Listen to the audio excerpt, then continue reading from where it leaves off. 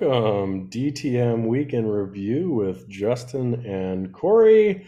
Uh, quite a week it was. I'm going to dive right into it.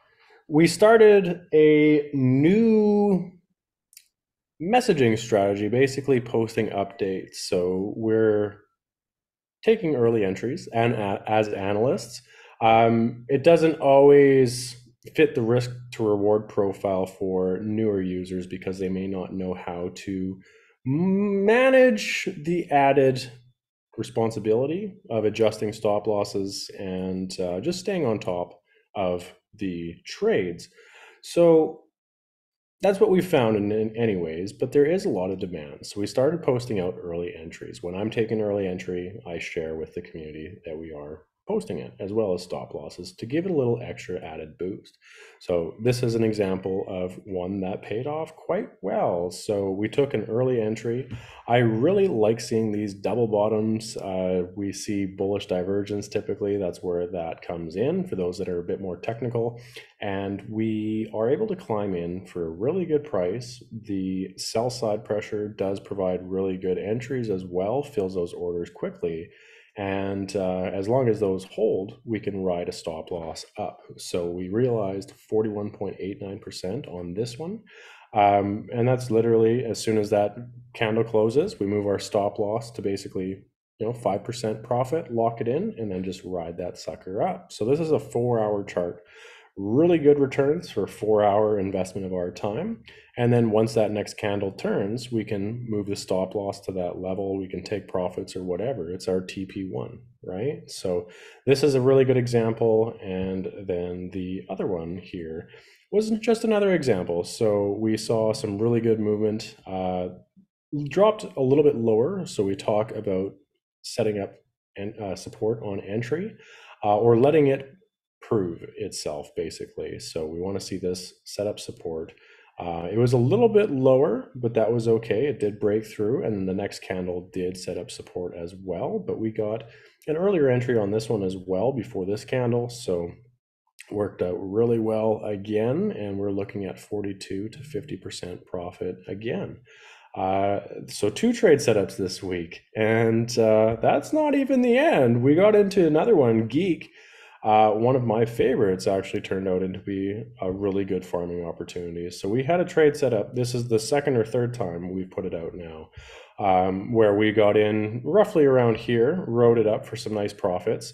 Uh, stop loss strategy is a prime example on this one because that one did have a nice spike. You know, if it stopped us out, no big deal, but you can sometimes catch these with that last 25% or 50% or more if you're riding, depending on your strategy for these higher percentages too. So up to 95% uh, or a little bit higher, you know, 100%, 110 if you got in a little earlier. Um, and we put out another one as well. So we missed a little bit of the action. Actually, this one we got twice as well. So this was another one, a farming, you know, 37% move, TP3, TP4 by the time we take profits on that. And then we posted a new chart. So this again, right after posting, had a nice spike. We got early entries right on that EMA and rode that up, you know, taking profits along the way. But even at TP4, that's a nice 36.5%, right? So um, it did come down, make a little bit of, you know, sideways chop, held quite strongly. This was the BTC drop. And then we get into some, you know, more updates. Really, we talk about this on the live calls, but getting into some of these green dots and getting that early entry right when it makes support on our entry uh, or a little bit ahead of time for the more aggressive traders that are managing their risk profile, uh, you can get into some of these rides that are 35% plus. So this is one that we're going to continue to farm. Um, sneak peek. Don't uh, assume that this chart is live, depending when you're watching this video. It is old content, right? So not financial advice, obviously, but just a sneak peek behind the curtains and a little bit of a freebie for, you know, those that want to take advantage of it, as well as it's you know holiday season, so we want to give a little extra at DTM always. Uh, but that was about it that I covered for this week. So pretty tremendous. I mean, depending on which coins you were in. Uh, there was one stop loss, and uh, for the most part, I think we are 130% for the week or something like that, cumulative total. So Yeah, it's been a great, great week, great few weeks, great few months. Um, December was awesome. It was great to see some of these coins popping off and make Christmas that little bit extra special. Um, so what I wanted to share, so we we put some results together. We went back from January of this year all the way to current and just started tracking all of our trades. So tracking whether they hit take profits, whether they were stop loss, whether it was a no entry, we didn't see support at our entry and it fell through, whatever it might be, and started piecing together so we can get some percentages, right? It's all about measuring. If, if we're going to improve something, we need a mechanism to measure our performance. So that's what we built here. So I'm going to open this up. So we've got November here. Um, we've got all of our trades closed for November, so we can show these results. December's still going, obviously. So I've got all the trades set up here, so you can see the trading pair, the date that it was posted, so the 1st of November, the highest take profit hit, because that's how we track our cumulative total the highest take profit that's all we track. We're not we're not going to do tp1 tp2 tp3 tp4 and add it all together because the results get messy. So the highest take profit possible and the time it took to achieve that profit. And then we've got no entries so we did not see support at our entry so for all of our new traders, uh, new to DTM, we always suggest waiting for support, and you'll see why here in a second when we start looking at some of the percentages and the cumulative totals. So all of these trades are now closed. We're moving down. So we had a total of 31 trades. And out of those 31 trades, we had 17 of them hit take profits. 13 of those were no entry. So if you were following our, our suggestions and waiting for that no entry, then those trades were no. We didn't enter those. We're all good. So we had 18 trades left over if we remove the no entries. Okay. One stop loss. That's all we had. And we hit a total of 47 take profit levels. 47. So that's pretty cool. That gave us an accumulative of over 311%, just shy of 312%. And then this right here, so total without our no entry. So if you followed that, didn't take any trades that didn't come to our entry zone, and you just took the trades as they hit our entry zone and followed that strategy, there was a 94% chance that if you entered that trade, that you made money on that trade. So super cool to see. And that's because we had that one stop loss, which was only for five and a half percent. So a lot of times what we see too, and something to to to state as well. So we had that stop loss of five and a half percent, but all of these other trades, most of those take profit levels are higher than that stop loss, higher than that risk, right? So very, very powerful. And if you went cowboy and just piled in on every trade that came out, there was a 55% chance that you would have made money on those. So pretty cool. Um, and then I like showing just our year end totals. So we don't have December included in this, keep in mind, but here's our year end. So to date, we've had over we've had 275 trades, and 158 of those hit take profits. So we had 93 no entries. That left us with 182 trades that were profitable, and we had or that hit entry, sorry, and then we had 22 stop losses. So 390 take profits total. We're over 2,500% cumulative. And if you jumped in every trade that hit entry, it's an 87% chance that you were in profits.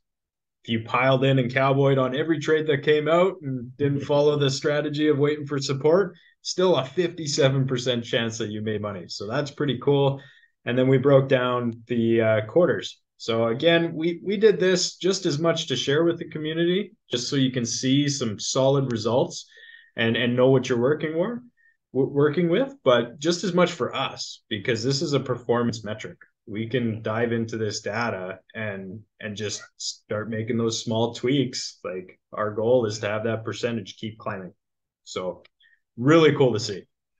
Absolutely. And for me that's also a big focus of mine moving forward. We adopted the new strategy i think six weeks ago eight weeks ago something like that where we're providing a lot more information much more as far as updates as far as just giving people an inside look into what we're doing as far as our trade setups and how we're managing them as the trade matures as well. So just because it didn't hit entry doesn't mean that there's not profits to be made. That's where advanced traders are farming in the meantime.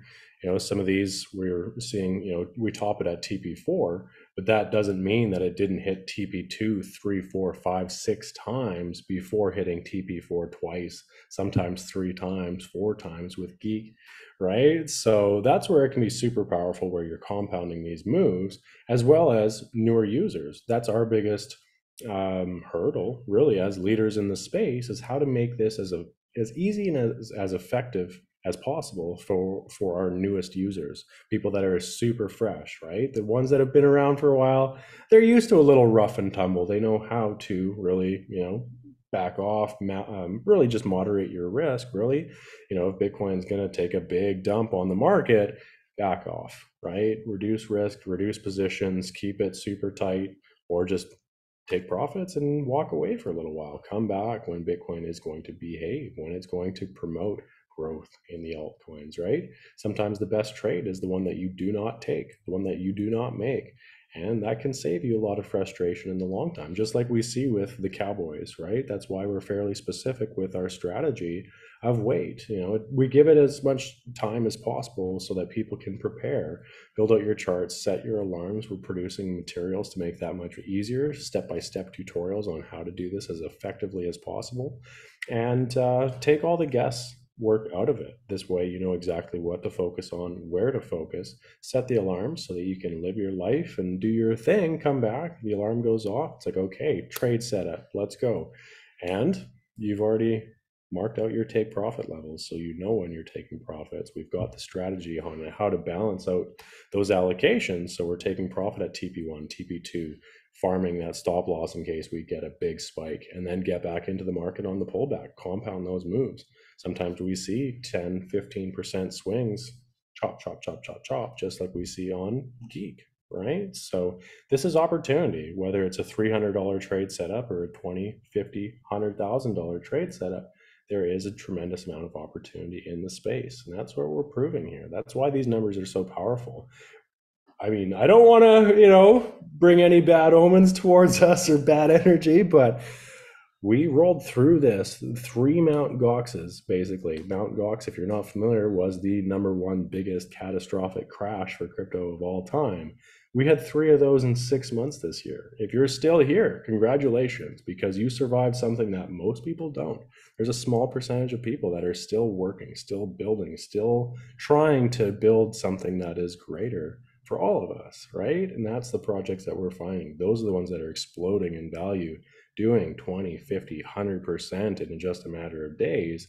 And we're able to capitalize because we're paying attention. We know what to look for and when to ease off, right? So, uh, translating that into something that p- people can pick up super easy, super quick, just like a blueprint, following a map, you know exactly where to go. Google Maps, you know, compared to trying to ask for directions, having that Google Map idea, that pointer saying turn left in 150 meters, letting you know when to turn left is going to increase your effectiveness, right? Increase your profitability as a trader.